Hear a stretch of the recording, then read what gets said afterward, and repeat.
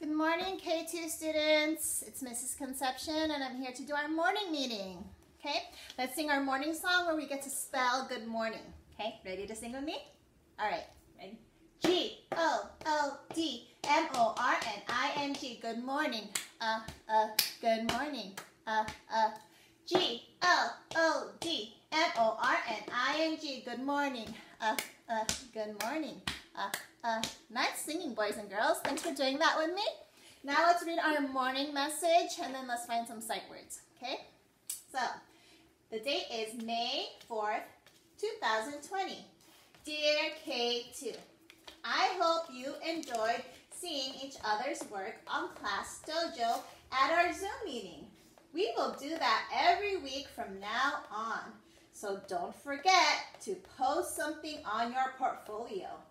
I can't wait to see what you share. Love, Mrs. Concepcion. Nice. Do you guys see any sight words there?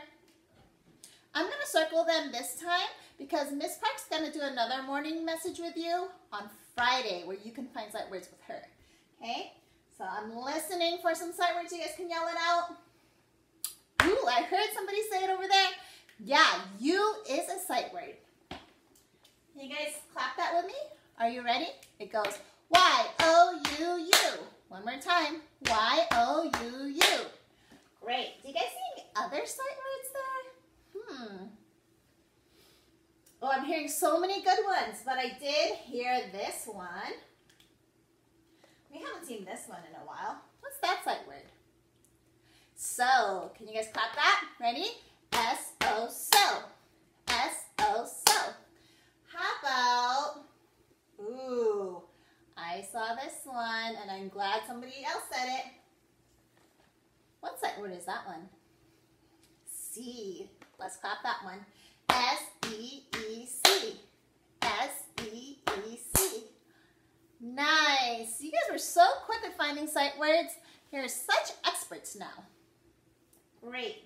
Now that we're done with our morning message and our sight words, let's move on and do our calendar. Do you guys notice something different about this calendar? Yeah, yes, it's different because it's flowers now, but there's something else that's different. You're correct. There is a new month. It's the month of May. Remember? When we sing our months, it's January, February, March, and April. May. May is the fifth month. May. Then we have June and July, August, September, October, November, December, right? But now we're in May. That's almost halfway through the year. Cool. Last time we were doing calendar with Miss Park, it was May 1st, and it was a Friday. But we had the weekend, and we did all types of fun stuff. So we're going to move our today, not to Saturday, not to Sunday, but to hmm, Monday. And if you don't know the days of the week, what, can, what song can we sing? Nice. I see people already with their fingers up. All right, let's sing it. There are seven days, there are seven days, there are seven days in a week. Sunday, Monday, Tuesday, Wednesday, Thursday, Friday, Saturday. And it's the first day of the school week. So that means it's Monday. So it's May 4th, 2020. Great thinking. So from Friday, you're just adding one more straw. How many straws? Okay, one more straw. Let's count these really quickly. Because you guys are really great mathematicians. I know you can skip count by tens by now. So let's go. 10, 20, 30, 40, 50, 60, 70, 80, 90, 100. Remember, if there's 10 tens, that makes 100. Counting on from 100. 110, 120, 130, 140, 150. And now we're done with our tens. We're going to be counting by ones. 150 was in my head. Let's count on. 151, 152, 153, 154, 155, 156, 157. Good job. But mm-mm, something's not right. Yeah, we have to change our ones place. It's not six anymore, it's a seven. And remember, we want to do uh, across the sky and down from heaven.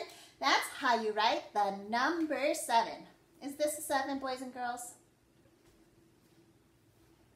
Yep, you're right. That's a, that's a four. Is that a seven?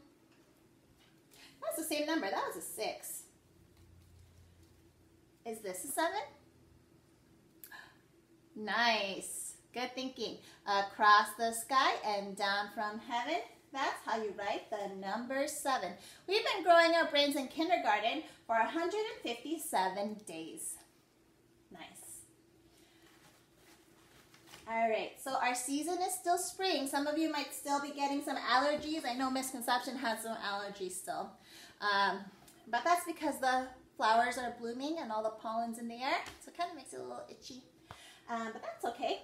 And I'm looking out of my window and it really looks like it's sunny and windy. Yeah, a lot of the things on my patio are moving around a lot, so I can definitely see there's wind, and it's super bright, so I would say the weather is sunny and windy. But yours can be different because you live somewhere different than Miss Concepcion, and that's okay. Um, and let's do our days of the week. We said earlier in our calendar that today is Monday. Is this Monday? Mm -mm. Good reading. That's a so that's Friday. Is this Monday? Great, because the first sound is mm, mm, mm. Now if you keep reading m on Monday, that's correct. So today is Monday. Tomorrow will be, what's after Monday? Sunday, Monday, to Tuesday. Tuesday starts with a t, t, t. Ooh, and I saw that one. That one was not very tricky. That one. Right? That's not Thursday. That's Tuesday. Thank you. Tomorrow will be Tuesday. Yesterday, the day before, was Sunday.